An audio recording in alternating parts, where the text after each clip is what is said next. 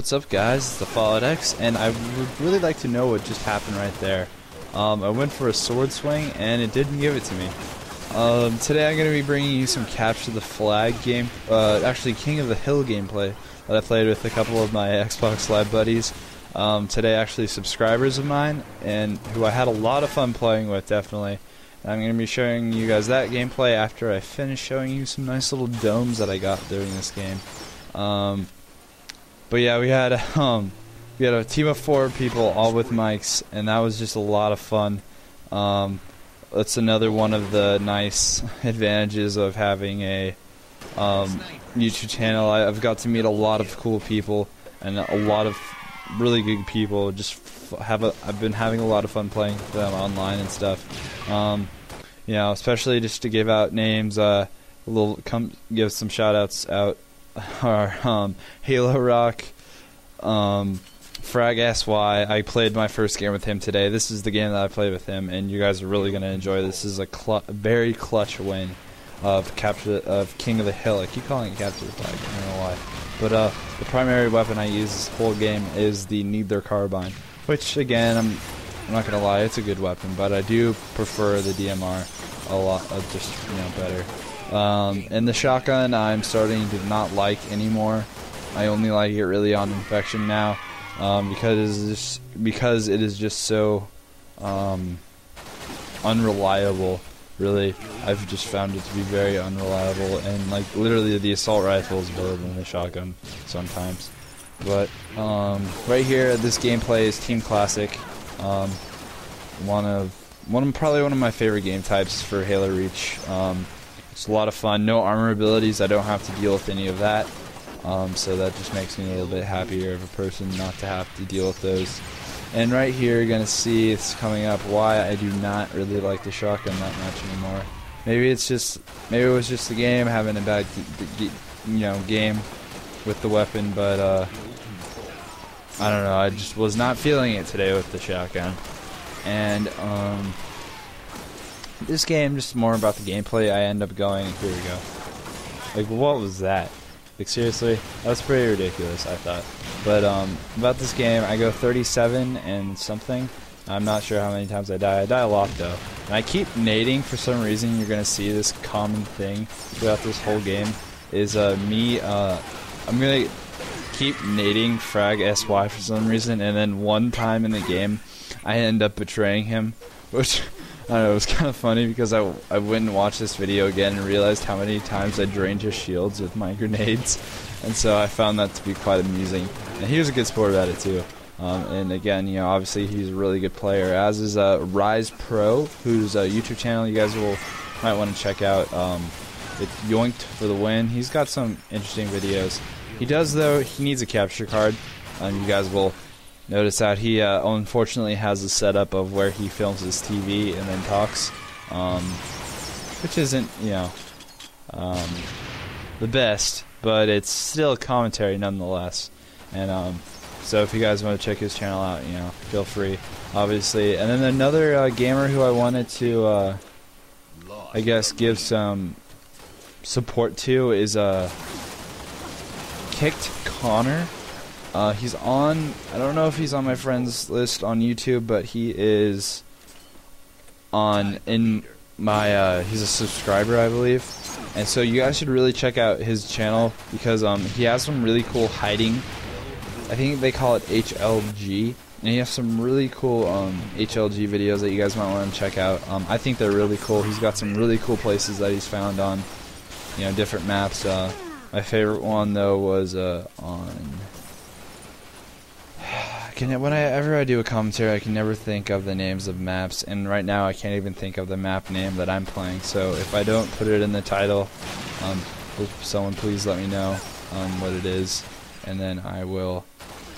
Yeah, I will very much appreciate this. And um, but yeah, if you check out his channel, it's really cool. He's got some really cool like, if you ever play Infection, like he has some really cool hiding spots that you guys might want to use. I I think it's pretty cool.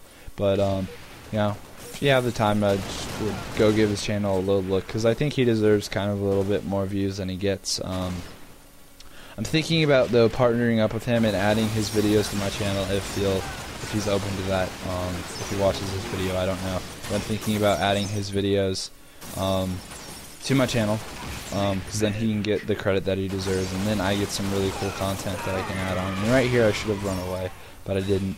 Um, I was just really having a whole lot of fun uh, playing with these uh, guys because all people I've met off, off of YouTube, and uh, just a lot of fun. Really, this game was a lot of fun. And um, we do get a very clutch victory at the end because as you can see, it's, right now it's 88 and rising.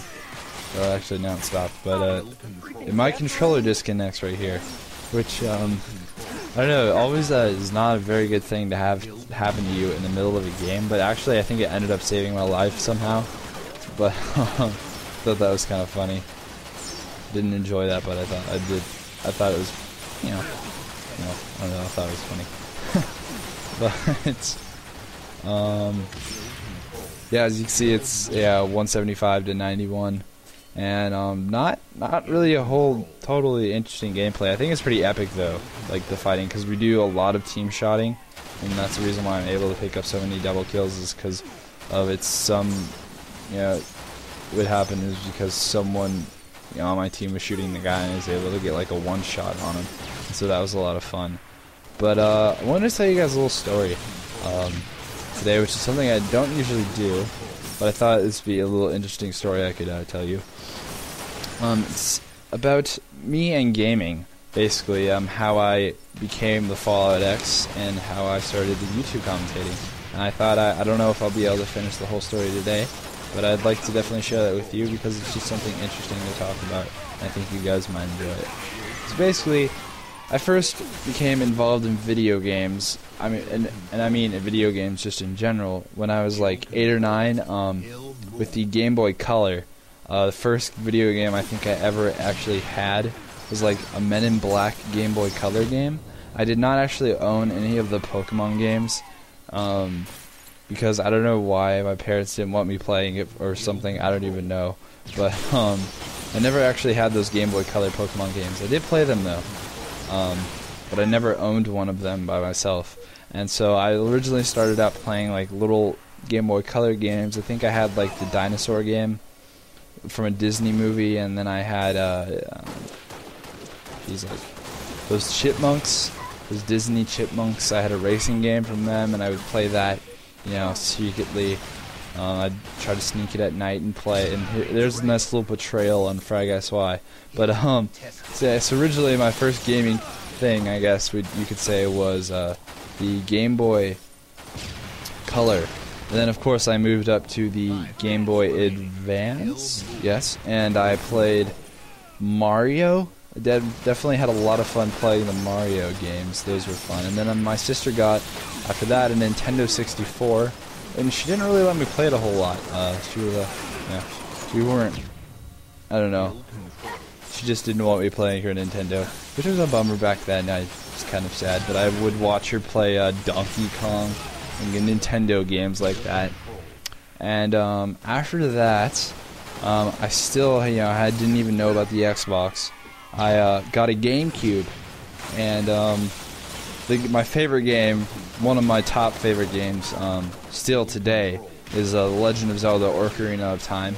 Um, for some reason, I don't know why. I just, when I was little, I used to wish that I was Link.